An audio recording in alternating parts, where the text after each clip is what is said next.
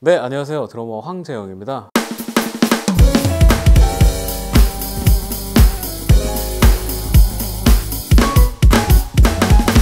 어, 일단은 452K 시리즈를 제가 연주를 해봤는데요. 기본적으로 사이즈가 되게 컴팩트해가지고 연주하기가 정말 편안했습니다.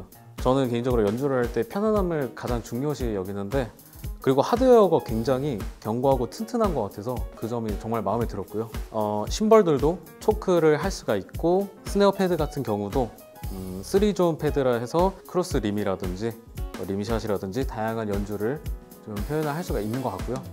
10가지 preset 내장 키트와 무려 287가지가 넘는 사운드가 들어있기 때문에 정말 다양한 장르, 다양한 연주들을 소화를 할 수가 있, 있는 것 같습니다.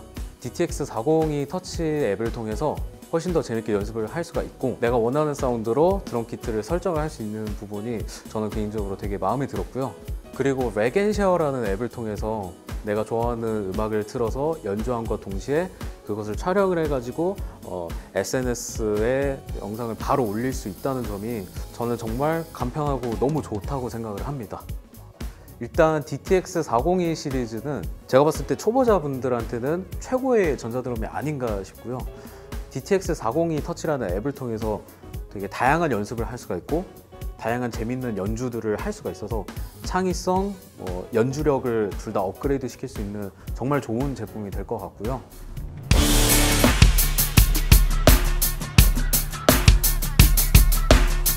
제가 느낀 터치감은 일단은 드럼 패드들이 어, 실리콘 패드더라고요.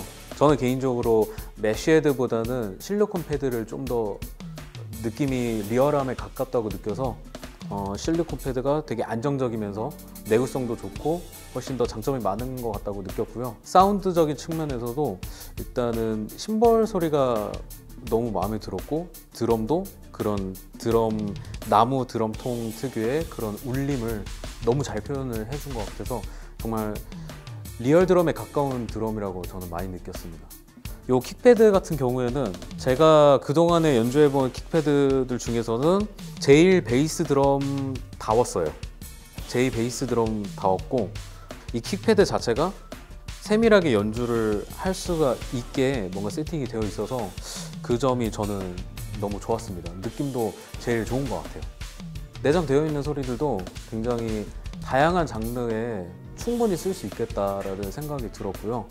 아까 말씀드렸다시피 리얼함을 너무나 잘 표현해준 그런 전자드럼이 아닐까 싶고요. 제가 연주했던 6K 시리즈로 보통 전자드럼으로 재즈 연주하기에는 좀 어렵다는 그런 어, 이미지가 있는데 제가 봤을 때 이 6K 시리즈로는 재즈 연주도 충분히 가능하지 않을까 싶습니다.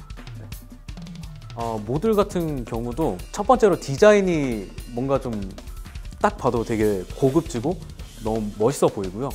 어, kit modifier 부분에도 뭐 ambience라든지 comp라든지 뭐 effect 이런 것들을 통해서 뭔가 내가 좀 더 원하는 사운드를 customizing 할 수 있다는 게 이 부분이 저는 굉장히 신선하게 다가왔고 뭐 마스터 볼륨, 오디오 볼륨 이런 것도 따로 조정을 할 수가 있으면서도 어, 스튜디오나 공연장 같은 데서 충분히 사용하기가 되게 수월할 것 같다라는 생각이 많이 들었습니다. 뭔가 전자드럼 특유의 이질감이 없어서 그게 가장 마음에 들었던 것 같아요. 아까도 말씀드렸다시피 뭐 느낌이라든지 타격감, 뭐 사운드 이런 게 정말 real에 가까운 사운드를 표현을 해주고 있어서 합주나 녹음이나 그런 데 정말 뭐 문제 없이 real 드럼 연주하는 것처럼 다양한 장르에 충분히 잘 묻는 것 같습니다.